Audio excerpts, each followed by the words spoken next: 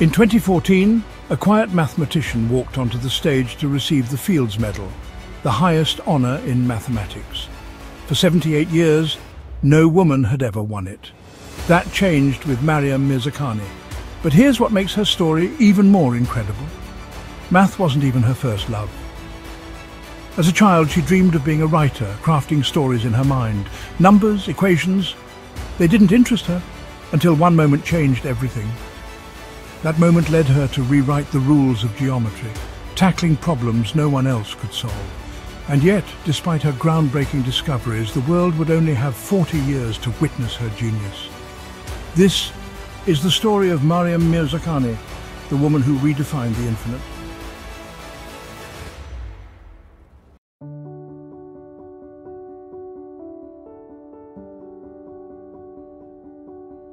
Maryam Mirzakhani was born on May 12, 1977, in Tehran, Iran, at a time when her country was undergoing immense political and social change. She grew up during the aftermath of the Iranian Revolution and the Iran-Iraq War, a period that posed significant challenges for education, especially for young girls. Yet from an early age, Maryam showed an insatiable curiosity, but not for mathematics. Unlike the usual stories of child prodigies solving equations before they could talk, young Maryam was a storyteller at heart. She would fill notebooks with elaborate tales, dreaming of becoming a writer. She loved books, not numbers.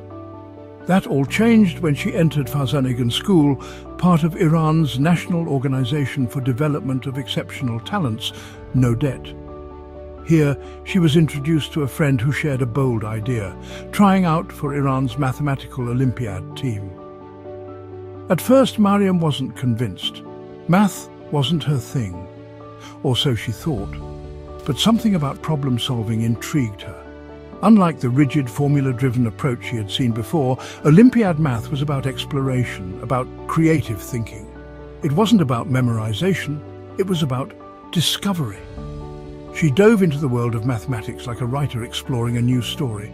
Numbers and theorems became characters, equations turned into intricate plots, and every problem was a mystery waiting to be solved.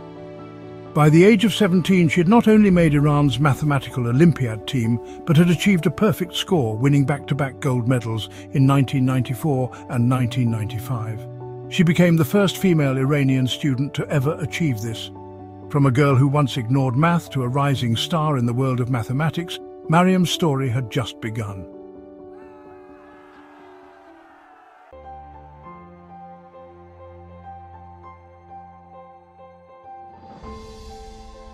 For most students, mathematics was a subject to be endured, a series of formulas to memorize and apply. But for Maryam Mirzakhani, the International Mathematical Olympiad, IMO, was something entirely different. It was a playground for the mind. After deciding to try out for the Iranian national team, Maryam threw herself into preparation. The competition wasn't just about solving textbook problems, it was about deep, creative thinking. Olympiad problems were puzzles, mysteries waiting to be unlocked, each with multiple pathways to a solution. In 1994, she competed in her first IMO at just 17 years old and won gold.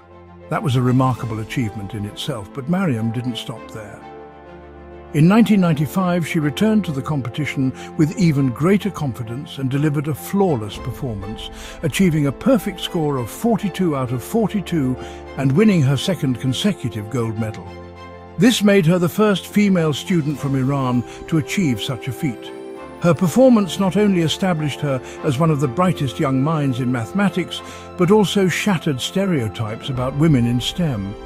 These victories were monumental, not just for Maryam, but for the academic community in Iran. Until then, Iran had never seen a female math prodigy rise to international recognition. She became a national inspiration, proving that genius had no gender. But these years also opened a new door, one that would take her beyond the boundaries of Iran and into the world of higher mathematics, where she would push the limits of human knowledge.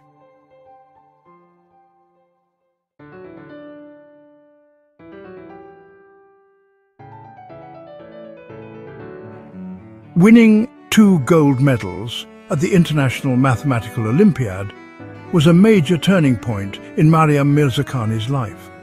It wasn't just proof of her ability, it was a passport to the world's top universities. After completing her undergraduate studies at Sharif University of Technology, one of Iran's most prestigious institutions, she set her sights on the next challenge, graduate studies in the United States. In 1999, she was accepted into Harvard University's PhD program in mathematics, where she would work under the guidance of one of the most brilliant mathematicians of the time, Curtis McMullen, a Fields medalist himself. Harvard was a completely different environment from what she had known. Here, mathematics wasn't just about solving equations, it was about exploring the very fabric of logic and space itself.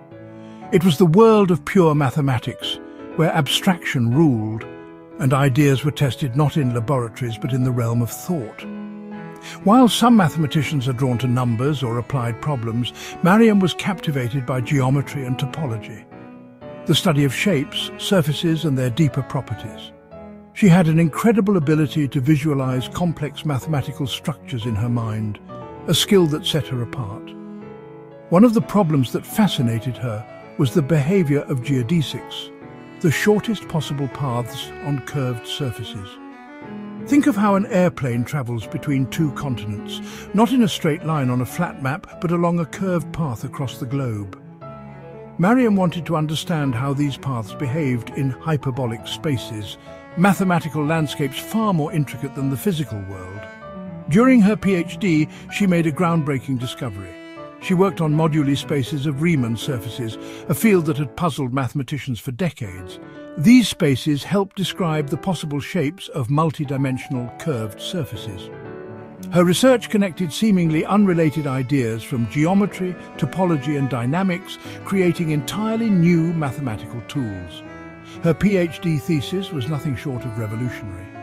It was so remarkable that it won Harvard's top dissertation award, a rare honour.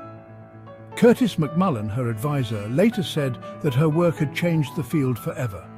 Her time at Princeton, where she later became a professor, solidified her place in the world of elite mathematicians. Her work wasn't just theoretical, it was reshaping modern geometry itself. What came next would make her a legend in mathematics.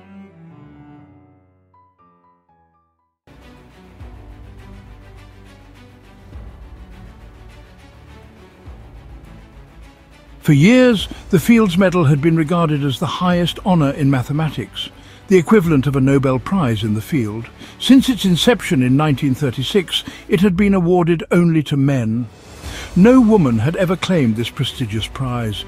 That changed in 2014 when Maryam Mirzakhani made history. At the time, she was a professor at Stanford University, known for her groundbreaking work in geometry and dynamical systems. Her research had already transformed the way mathematicians understood Riemann surfaces, moduli spaces and hyperbolic geometry. The announcement came at the International Congress of Mathematicians, ICM, in Seoul, South Korea. Maryam was awarded the medal alongside three other mathematicians, but her win stood out for a historic reason. She was the first woman, the first Iranian, and the first from the Middle East to receive the honour. When asked about the significance of this moment, Maryam remained humble. But for millions around the world, her win was more than just an academic achievement. It was a symbol of breaking barriers. The impact of her Fields Medal win was immediate. Women in STEM fields saw her as an inspiration. Young Iranian students, particularly girls, now had a role model who had shattered ceilings they once thought unbreakable. Even Iran, a country with complex social dynamics, celebrated her achievement with unprecedented pride. Her win wasn't just about personal success. It was about opening doors for those who would come after her. It was a historic moment, but her greatest legacy would be the ideas she left behind.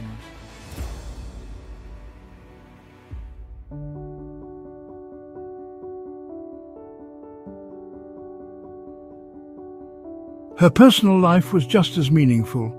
She was married to Jan Vondrak, a Czech theoretical computer scientist, and together they had a daughter, Anahita. In 2013, Maryam was diagnosed with breast cancer. At first, she kept the news private, continuing to teach and research as she underwent treatment. But as the years passed, the disease spread, eventually reaching her bone marrow. On July 14, 2017, at just 40 years old, Maryam Mirzakhani passed away. The mathematical community, and indeed the world, mourned her loss. For many, it was not just the passing of a brilliant mind, but of someone who had redefined what was possible for women in mathematics. Tributes poured in from across the globe. The president of Iran, Hassan Rouhani, made a rare public acknowledgement calling her a genius and a source of pride for the nation. While her life was tragically short, her influence continues to grow. Maryam's Fields Medal shattered a barrier that had stood for over 80 years. Today, she is a role model for countless young women who aspire to careers in mathematics and science. In her memory, Stanford University and other institutions have established fellowships and programs to support female mathematicians. The International Mathematical Union, IMU, introduced an award named in her honour, dedicated to outstanding young female mathematicians. Maryam once described mathematics as like being lost in a jungle and trying to use all the knowledge you can to find new paths. She may be gone, but the paths she carved will lead others forward for years, perhaps even centuries to come. Her legacy will live on forever.